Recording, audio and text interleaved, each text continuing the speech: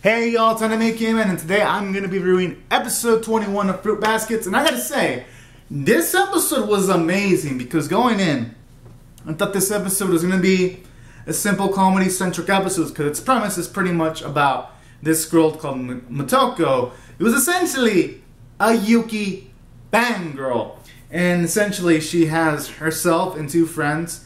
They want to go and observe the waves in Hanajima's house in order to find some kind of weakness against her so that then eventually they can find a way to make sure Toru doesn't get isn't close to Yuki anymore. And then during all this, I'm like, oh shit, these three girls, whoo, they really, really don't know what they're getting themselves into. And what I like about this episode was you see these girls all cocky, being like, yeah, we're gonna find a weakness of Hanajima.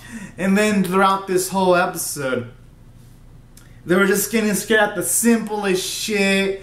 And I like how during this episode they're imagining that Hanajima's house was like near a fucking graveyard where it's old European style, but then they actually see it's a normal house. And then when they get in there, I like how during all this, they fucking try to find fucking weaknesses of Hanajima, but then they can't find anything. And then the way they find Hanajima somewhat relatable because she had read shoujo mangas too, and I was like, this is hilarious. And then parts ways in, one of the girls kind of exposes herself, saying that we just want to find out the weak your weakness, Hanajima. And then afterwards, it ends up in a situation where the brother of Hanajima, Megumi, scares him off because he's like, I have the ability to curse people. And then he mentions those those three names because he mentions that he can curse people as long as he knows names. And then these girls just run in like stick figure fashion. And I really love that because for one, it made me laugh. And two, it did a lot for the story standpoint because you gotta remember, in the first few episodes of Fruit Basket, some of the girls they weren't taking kindly to Toru interacting with Yuki. And I like how this episode actually puts into context as they explain that half of the girls in the school are actually part of this Yuki uh, fangirl club where their mission is pretty much to protect him, and one of the rules is to not get too close to him. And if you do, there's a punishment, or they might not be punishment. And that's what I like about this episode because it puts into hilarious context why there's animosity towards Toru at the start of the season when she starts interacting with Yuki. So there was some nice role building there. And two, from a story standpoint, this episode did great because it did a lot of fleshing out on Hanajima all in the span of an episode that was hilarious as hell. And I loved it for that too.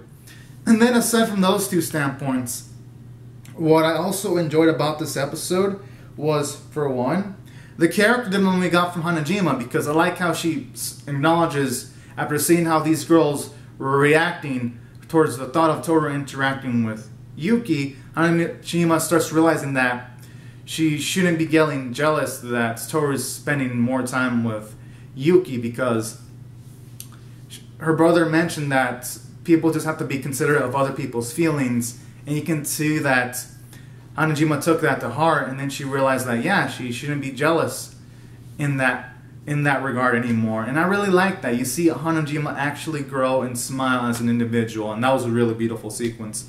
So that's what I felt it did amazing from the character standpoint because Hanajima she grew as a character and we find out her weakness, which is pretty much Toru, and that was hell of adorable. So it did great from that standpoint. And it did great in giving Megumi characterization too.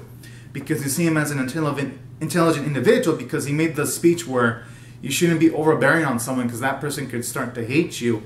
So that was a great sequence. And it shows you Megumi, Hanajima's brother, is really smart. And two, I like how it showed he smiled. Like when Hanajima's friends came over to visit it was really adorable and all that. I loved that. And then I like how it shows his quirky side too, and near the end when he's all like, "My heart beats when I'm around older women." That's hella cute. So that was also nice, showing off that even though Megumi's wise for his age, he still has certain things that give off that yes, he is a kid personality wise, and I love it. It's really really cool that this series has natural characters. So that's why I felt this episode was nice, and it gave characterization to Motoko too, where she's the over-attached type. That was just hilarious, and it's funny because if they would just the very least try to talk to Yuki like a normal person. Who knows? Maybe they would be able to become friends with them instead of just wasting their time just make being part of this fucking fangirl club. So stuff like that too is also hilarious. And that's why I felt it did great from the character standpoint.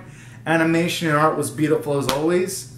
Soundtrack was beautiful. And the voice performances were phenomenal. And that's why I'm gonna rate this episode a 10 out of 10 because I love the focus on Hanajima and the characterization we got for her and the brother and the character development. I just thought this episode made me laugh a lot more than normal episodes. But anyways, y'all, these are my thoughts on the episode. Be sure to comment down your thoughts on the episode in the comments below. Be sure to rate the video, subscribe, comment, and share it if y'all want to. And I'll see you guys later if you come back tomorrow. more. Alright, have a great safe day, everyone. Bye-bye.